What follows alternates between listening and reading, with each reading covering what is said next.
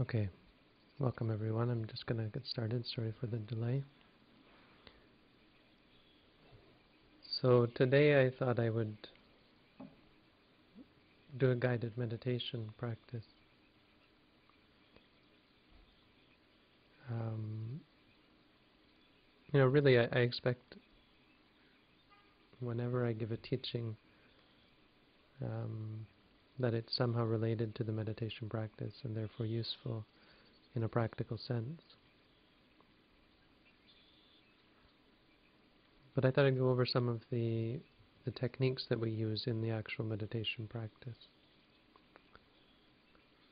First, I wanted to give a little bit of food for thought, and this is relating to a conversation I had about the description of Nibbana and um, it was suggested that I give a talk on Nibbana, and maybe I will. But I'd like to read something here that I think is um, very useful as food for thought. The problem with talking about Nibbana, of course, is that um, you're talking about something that is unlike anything else.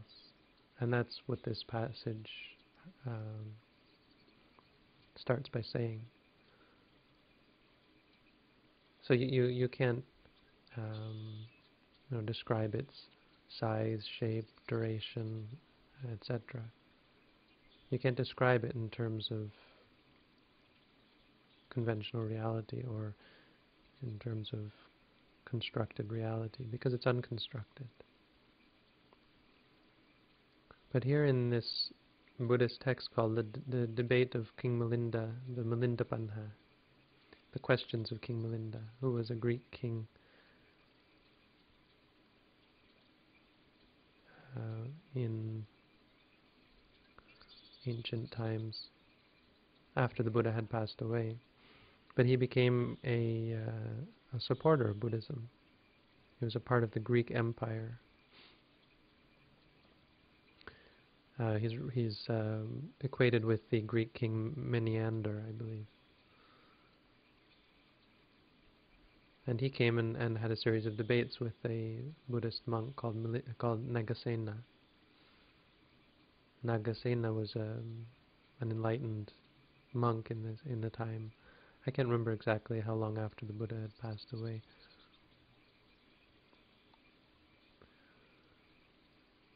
Okay, so the passage starts with the king asking a question about Nibbana, and he's been asking some some quite difficult questions and, and something about Nibbana. And then he goes on to ask, is it possible, Nagasena, to point out the size, shape, or duration of Nibbana by a simile? And Nagasena says, categorically, no, it is not possible. There is no other thing like it. The king asks again, is there any attribute of Nibbana found in other things that can be demonstrated by a simile? And Nagasena replies, yes, that can be done. And he goes on to give uh, several similes, which I think are, are very good food for thought. Whereas we can't put this into practice, it kind of, um, what I think the great thing about talking about Nibbana does is it helps us compare our experience of reality with this um, unconditioned state, or unconditioned reality. And so we can see that, that what we experience in our daily lives pales in comparison. And so he says, as a lotus is unwetted by water, Nibbana is unsullied by the defilements. Like water, Nibbana cools the fever of defilements and quenches the thirst of craving. Like medicine, it protects, thing, it protects beings who are poisoned by the defilements, cures the disease of suffering, and nourishes like nectar. As the ocean is empty of corpses, Nibbana is empty of all defilements. As the ocean is not increased by all the rivers that flow into it, so Nibbana is not increased by all the beings who attain it. It is the abode of great beings, the, uh, the enlightened beings, and it is decorated with the waves of knowledge and freedom. So here he's comparing the ocean, um, the the whales and the um, great beings that live in the ocean with the great beings that attain Nibbana.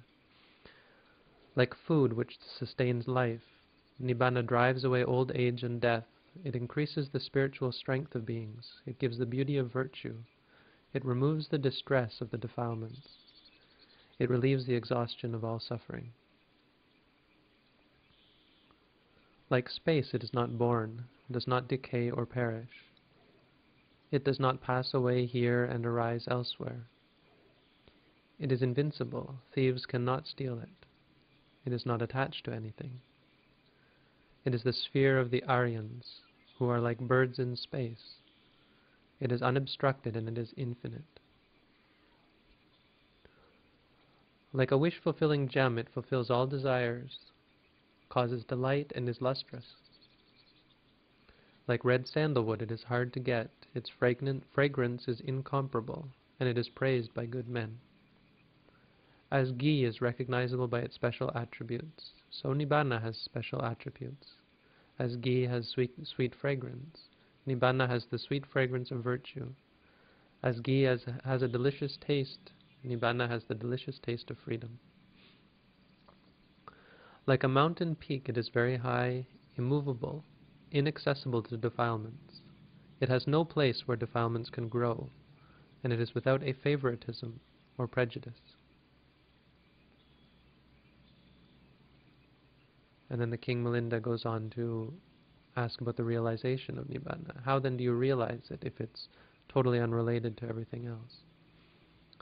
You say, Nagasena, that Nibbana is neither past nor present nor future, neither arisen nor non-arisen, nor producible.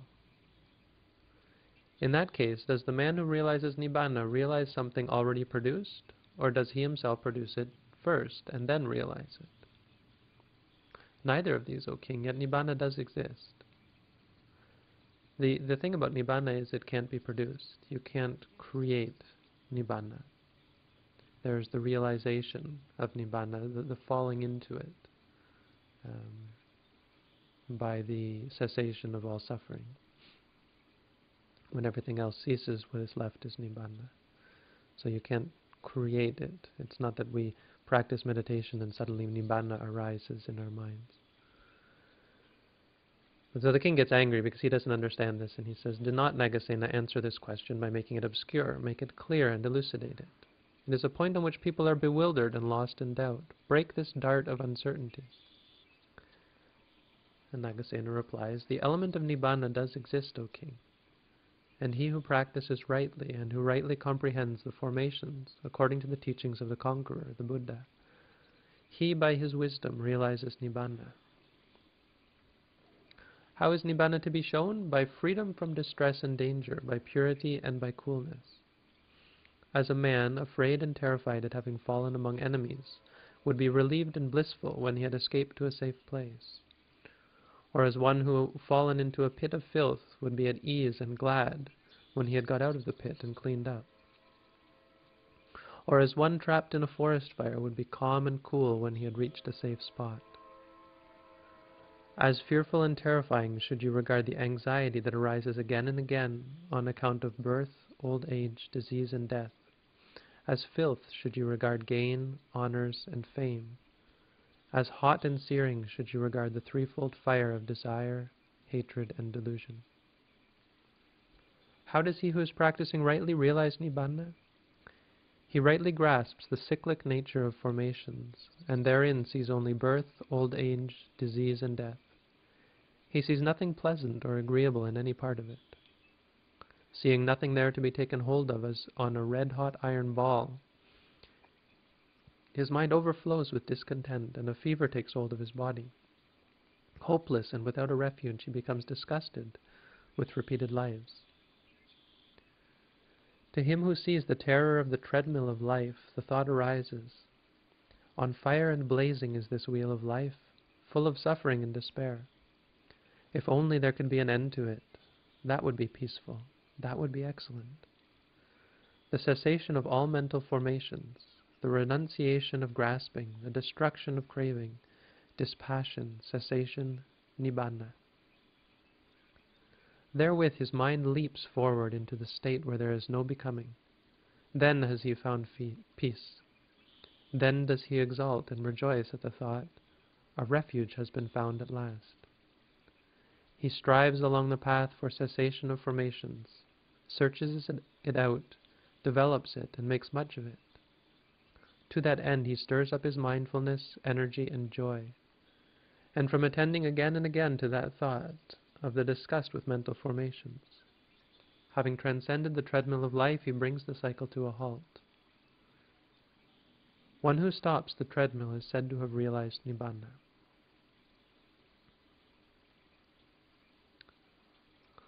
Okay, so that uh, is a food for thought passage. For those of you who didn't understand Nibbana, in fact, it can be a scary thing. Nibbana is the cessation of all of this. And we really love all of this, now don't we? And in the Buddha's teaching, we realize that really that's the problem, is our love for things causes us to create causes us to cling, causes us to compartmentalize reality into the good and the bad and get all tied up in reality. And Nagasena in this passage, he he says something that, that I always like to come back to, and it's that uh, one who realizes Nibbana is like a bird flying in the, in space, flying in the sky. And this really sums it all up for me. We're, we're like um, birds clinging to a tree, clinging to um, clinging to the earth. And as a result, we're not able to fly. We think we're going to fall. We think we're going to um, to perish if we don't cling to things. We think how boring would it be to lose all of this.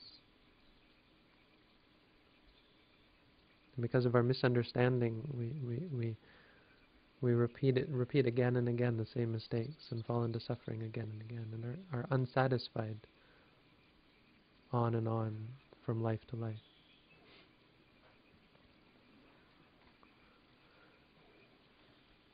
The Buddha's teaching is not something that theoretical.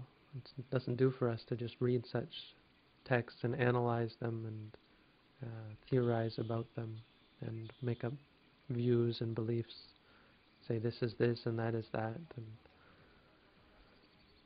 so on. Buddhism is a practice, it's a path, and that's what he gets at at the end, which I think is, is so poignant. This passage uh, is very well, very well said, very well written. The, the entire book is an incredible uh, testament to the uh, the wisdom of this monk and the wisdom of an enlightened being. So I'd like to invite everyone, um, please take your eyes away from the screen for a second. Let's relax our our minds. Let's put put down the burden for a second.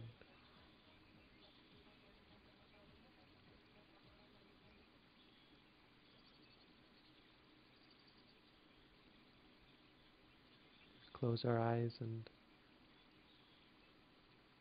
begin to settle down,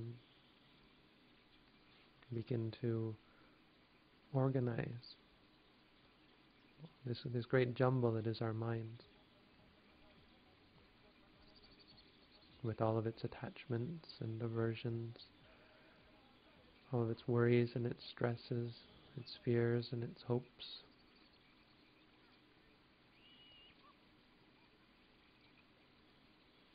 We see that the mind is quite a, a jumble of quite a jumble of different things, of mind states, thoughts, and judgments, and yeah, plans, and memories, and the experiences of the world around us.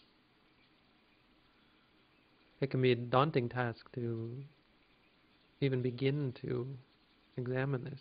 When you close your eyes, most most people are overwhelmed. What do I do? I close my eyes. I, I don't know where to start.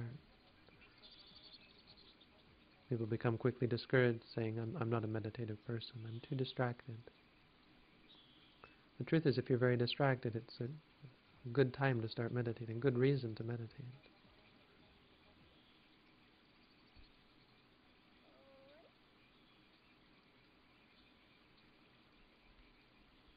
But it, it's a good point that if you just start pulling and, and, and trying to untie the knots in in, one, in your mind without any plan or any um, method, uh, you, you tend not to get very far. You tend to become uh, confused and disheartened with the sheer magnitude of the problem. So the Buddha had us split reality up. Really, this is what we do when we when we um, practice Buddhist meditation. The, the the Buddhist theory on on the meditation practice is simply splitting reality up into pieces, and so that we're able better to recognize it. We don't just have to pick something. We can start to distinguish different states and recognize them more easily.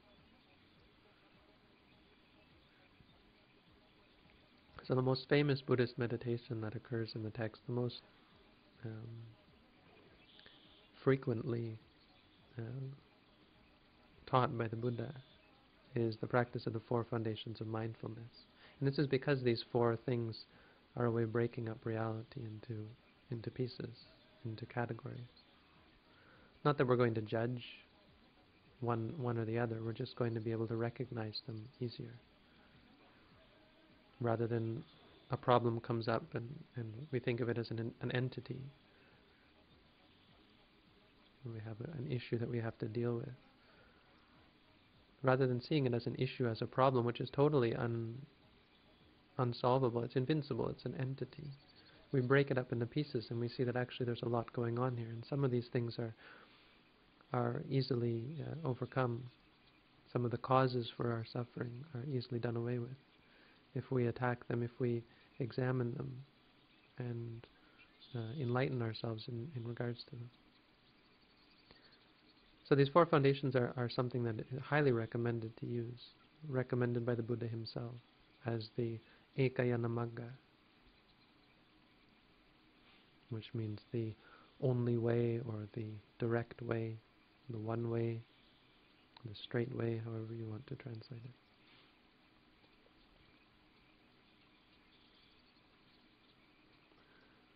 And so I'm just going to go through some of these, some of the ways we put the four foundations of mindfulness into use in our practice. For some of you this might be familiar, but again, this is practical. It's not theoretical. We're not trying to learn anything in terms of theory. We're trying to uh,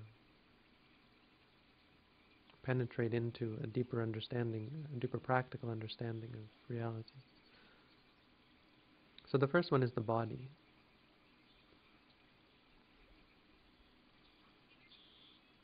The body is, is all of the physical that we see around us. This is only a quarter of reality. The material world is only a quarter of, of, uh, of what is real in the universe and yet it's 95% of what we focus on, what we uh, experience, what we relate to.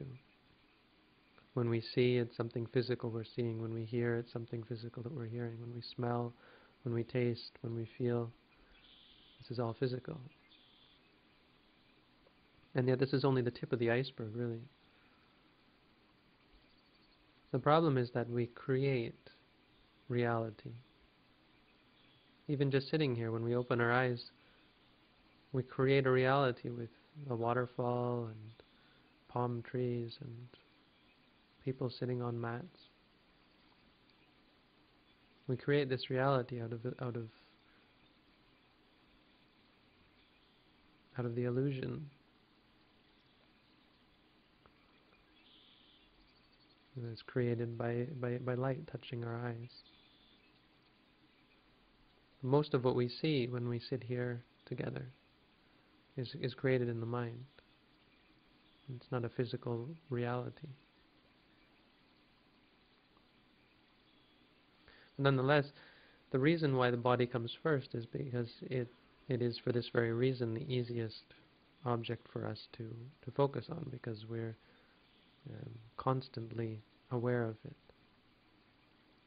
When we're sitting here, the, the easiest thing for us to pay attention to is our physical body, sitting in the chair or on the floor.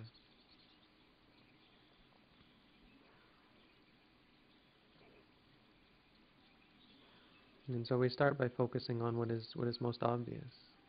And when you're relaxed, when you're calm, when you're first starting to settle into the meditation practice, this should be the stomach rising and ceasing, rising and falling, sorry, with the breath. When the breath comes into the body,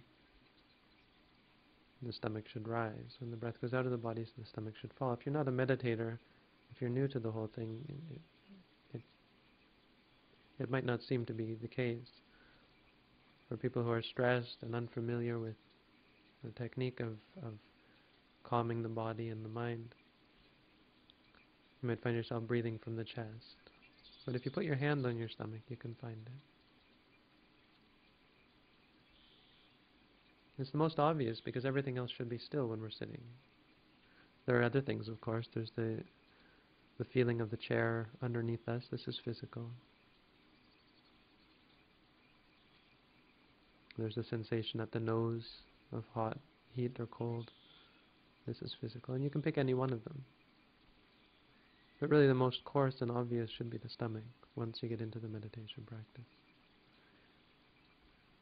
If it's not obvious or um, if it's difficult to find, you can lie down, lie on your back and check for yourself to see.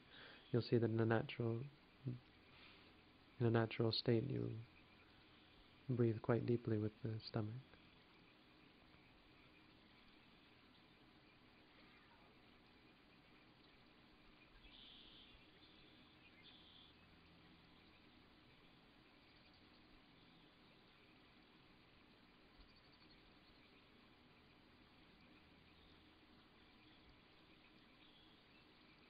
Now the whole of the meditation practice that I was taught and that I therefore teach to others has to do with this concept of, of recognition, of acknowledgement, of reaffirming the true nature of the object, as opposed to letting the mind give rise to views about the object, conceit about the object, attachment to the object, judgments about the object.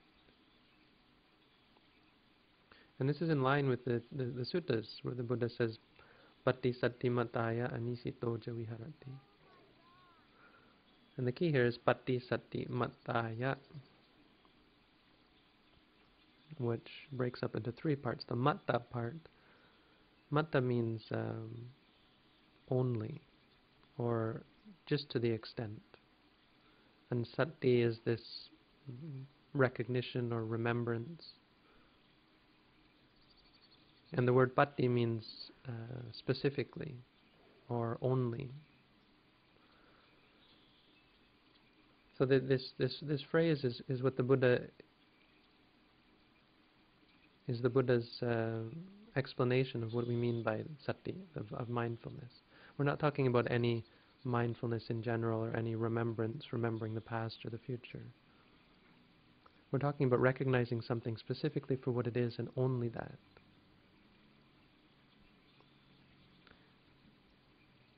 And so this is our meditation practice. When the belly rises, we just acknowledge that that's what it is, keeping our mind from giving rise to a, a, a different sort of acknowledgement, that it's good or bad or so on, the judgment.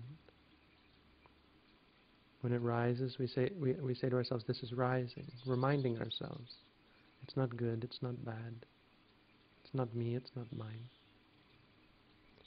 And I guarantee this is the best way to see the, the object for, for what it is even just a short practice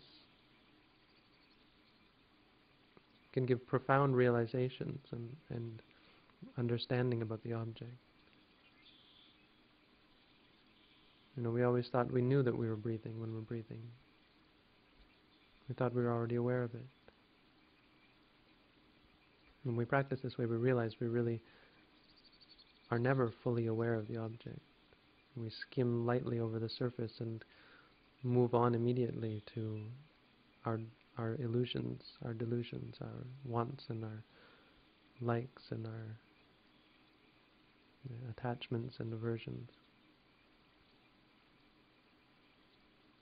And judging everything we come in contact with. So we remove all that and have a simple this is this awareness. When it's rising, we know that it's rising. When it's falling, we know it is falling. We say to ourselves in our mind, just like a mantra, focusing our mind on the object, only seeing it for what it is. Rising, falling, rising, falling.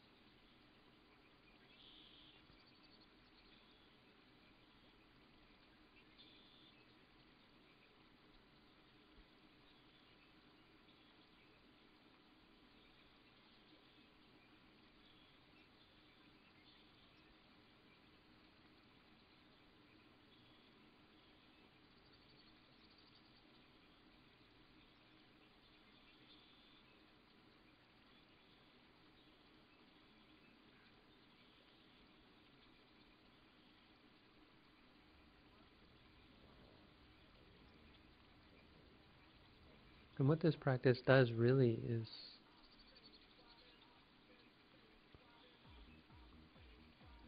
untangle all of the knots that we've tied ourselves up into, making so much more out of the present moment than it actually is. So much more out of the reality that we experience than what it is. We, we pull our grasping clinging fingers out of the out of the mess. And we get closer to Nibbana, closer to flying away.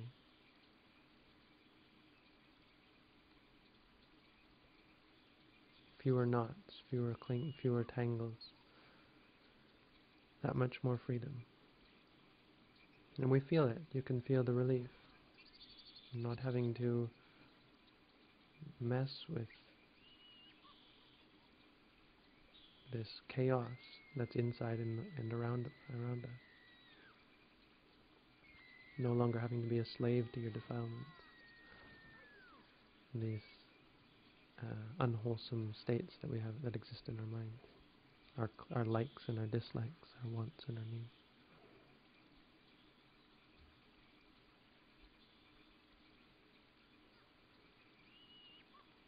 And you can acknowledge other things. It doesn't have to stay with the rising and falling. If you feel at the nose, you can say hot, hot, or cold, cold, or feeling, feeling. If you feel that sitting in the chair, you can say to yourself, sitting, sitting, or feeling, feeling, hard, hard, or soft, soft. Just acknowledging the experience as you perceive it, stopping the mind from judging it. This is the first foundation that the Buddha taught. It's a very important part of reality. It's the easiest because it's the most clear. The second foundation is the feelings or sensations. And these arise both in the body and in the mind. When you feel pain or when you feel happy, when you feel pleasure in the body or calm in the mind.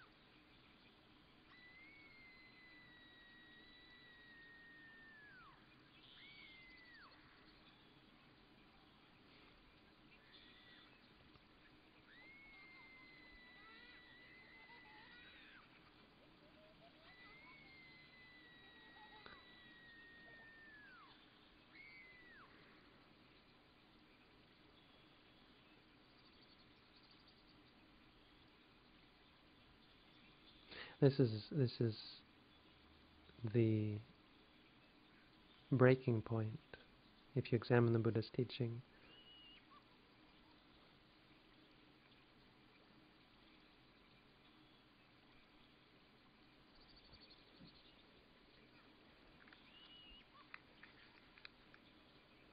The point where there arises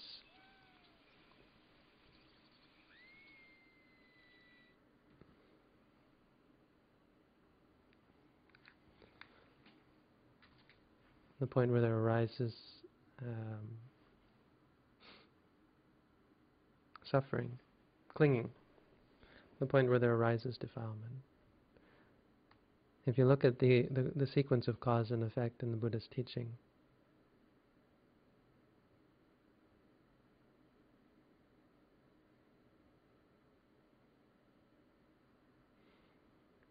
you see that it's when feeling arises that there arises clinging.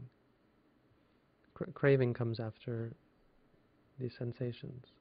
When we feel pain, we, we we we give rise to a wanting, wanting for the cessation of the pain. When we feel happy, we give rise to a craving, wanting to the the happiness or the feeling to be sustained.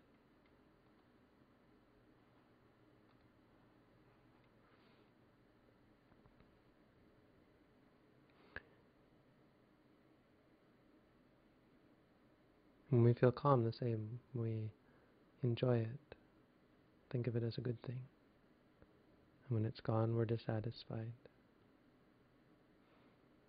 So there's nothing wrong with any of these three feelings, and that's the point, really, is to see that it doesn't really matter which feeling arises. There's nothing intrinsic about them that says, I am good, I am bad.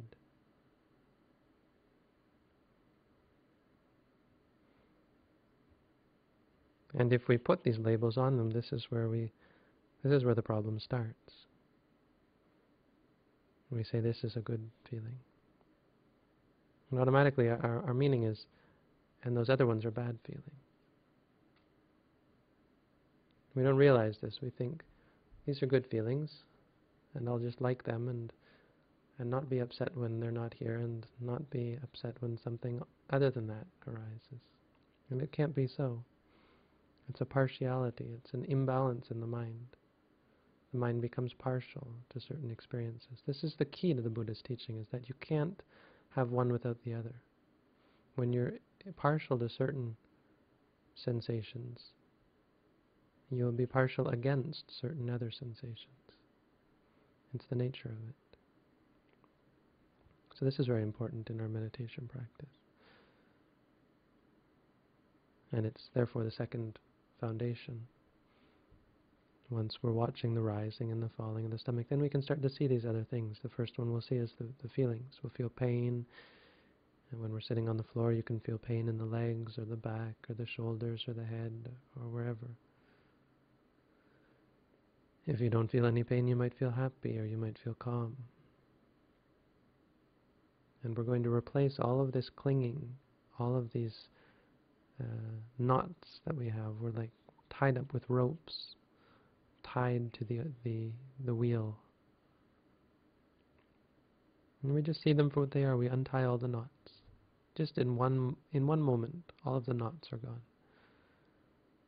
We feel pain, we focus on the pain and say to ourselves, pain, pain, pain. No longer clinging to it. No longer thinking of it as a negative thing, negative experience. When we feel happy, we say happy, happy, happy, seeing that it is what it is. We feel calm, we say calm, calm.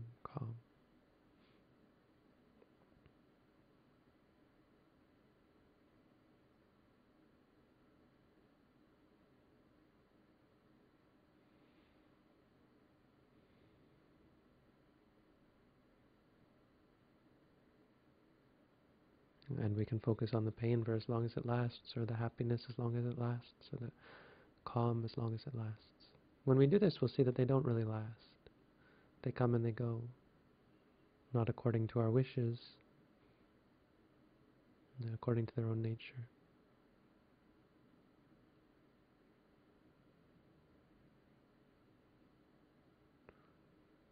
And when they're gone, we just come back again to the body, which is always there focusing on the rising and the falling, or whatever. When we're walking, focusing on the walking, movement of the feet, walking, walking.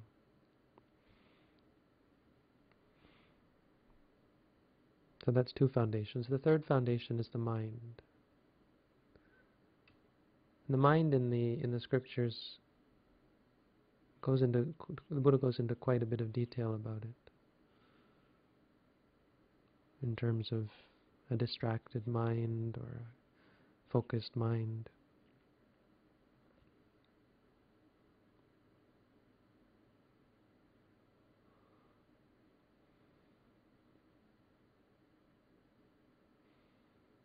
And we can do this as well when we can see that there are many different kinds of minds that arise.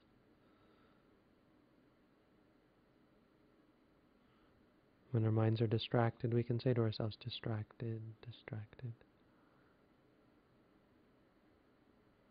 When our minds are focused, we can say focused, focused. When our minds are, dis are drowsy or tired, we can say drowsy, drowsy or tired, tired.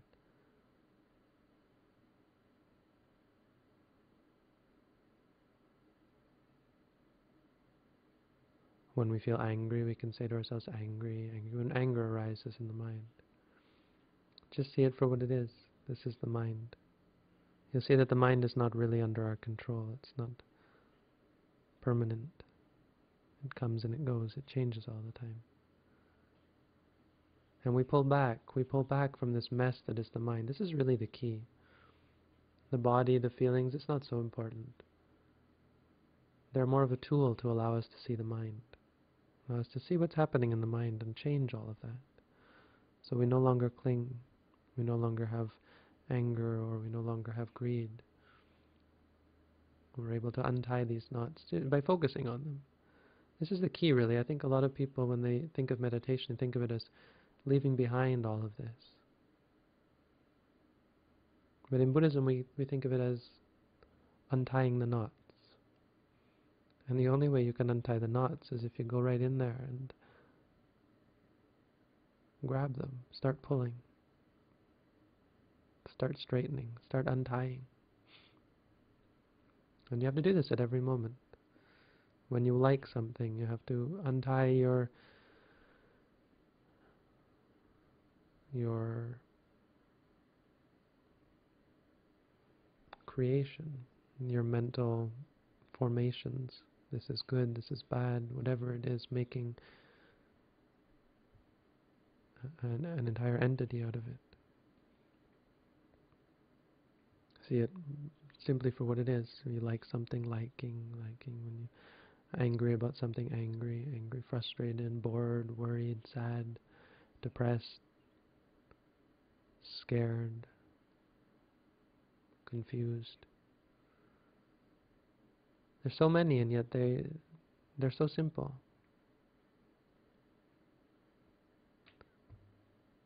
All you have to do is remember their names. really. If you can remember their names, then you can remind yourself of what they are. And you can sort out all of this mess that is the mind.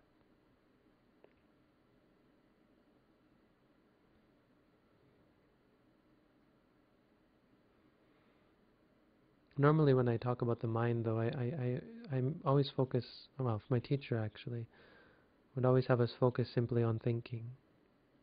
And this is because when we get to the fourth foundation, we're going to talk then about the, the states of mind, the, the, the, the nature of the mind. There's an overlap in the, between the two. So an important part of the mind is, of course, the thoughts. And this is really a very practical teaching. What does the mind do? It thinks can be good thoughts or bad thoughts, but it's always thinking. And we're not trying to stop the thinking, per se. We're trying to untangle ourselves, disentangle ourselves from the thinking, so that we no longer identify with it as I'm thinking, this is my thought. And therefore have to deal with it, have to come to some resolution, have to think it through, and we follow after it. And simply say to ourselves, thinking, thinking, seeing it for what it is.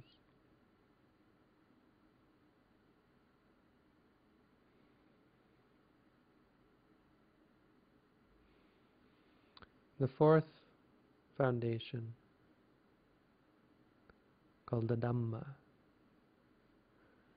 is a selection of the Buddha's teaching. It really is all of the Buddha's teaching. This means this is the meaning of the word Dhamma in this case.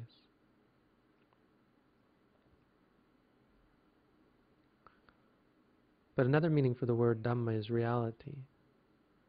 And so the really the, the, the point of the Dhamma is something that leads us closer to the greatest reality of all, which is Nibbana.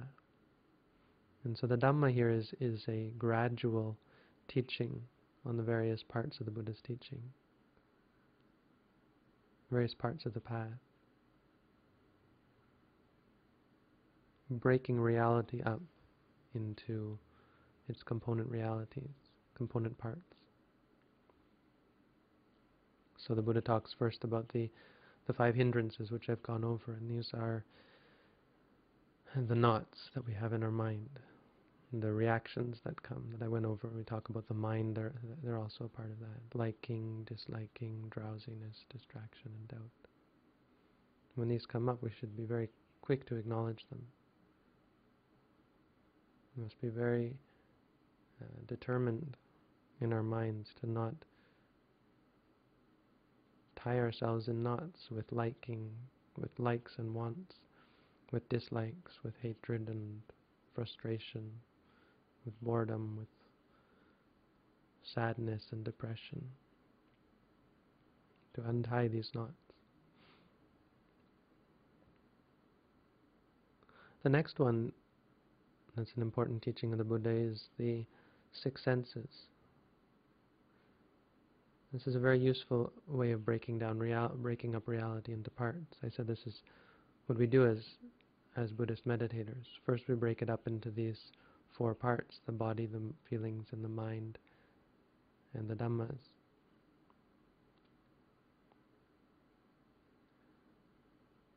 And the, the dhammas here, we're, we're going to get into more detail. We're going to use another classification, and that's the six senses seeing, hearing, smelling, tasting, feeling, and thinking.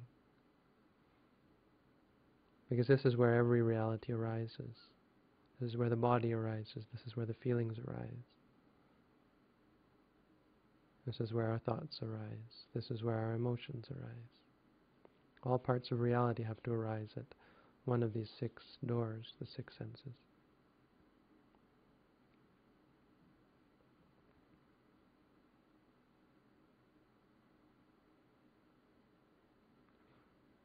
And so as we progress in our practice, this is the next. This is one of the next steps: is to uh, break every experience up into one of these parts, to to see it as one of these six things. When we see something, to just know that we're seeing. When we hear something, to know that we're hearing, smelling, tasting, feeling, or thinking.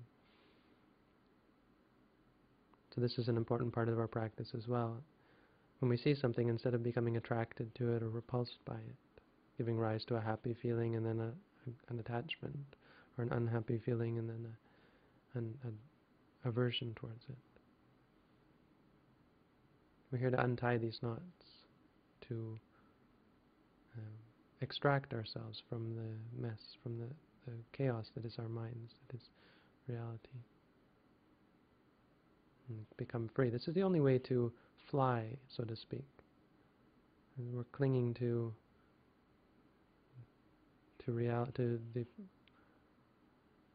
formed reality around us.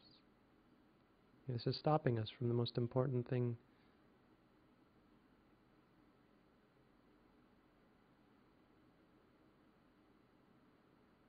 the most important realization, which is this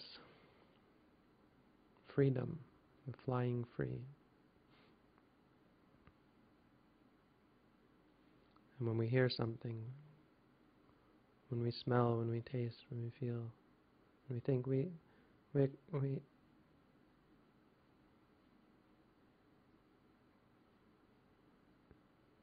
we pull ourselves up and out and back to our center, back to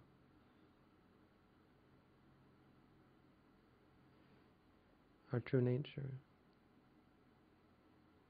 untying all of the knots. We say to ourselves, seeing or hearing, smelling, just seeing it for what it is, rather than getting upset or attached to it.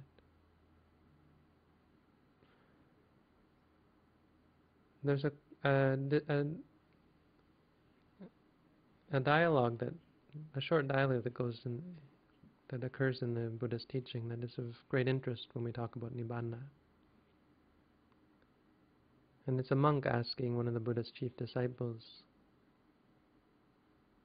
a question. He says, if Nibbana is free from from sensation, if there's no sensations in Nibbana, how can it be true happiness? How can it be said to be happiness? I think this is a question that's on all of our minds, really, when we come to practice meditation. Because we, we really like, this is where we think of as happiness, pleasurable feelings. We don't want to extricate ourselves. We don't want to be free from experience. We don't want to be free from seeing and hearing and smelling. Because this is where we find happiness, isn't it? And yet Sariputta's response was, it is precisely because there are no feelings in Nibbana that it is true happiness. This is some sort of food for thought, I think, for all of us. And we can be really honest with ourselves.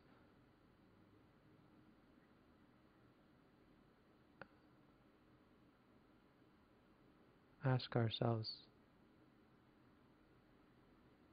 whether we do really find happiness in these things.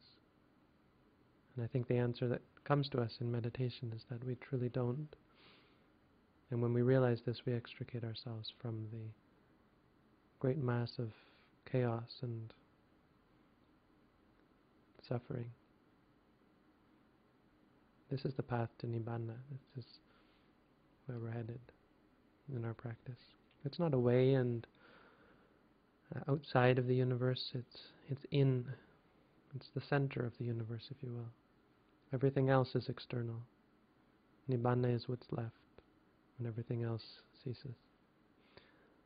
So I'd like to thank you all for coming. I think I've gone on long enough, and I appreciate your um, your attention. If you have any questions, you're welcome to ask. Otherwise,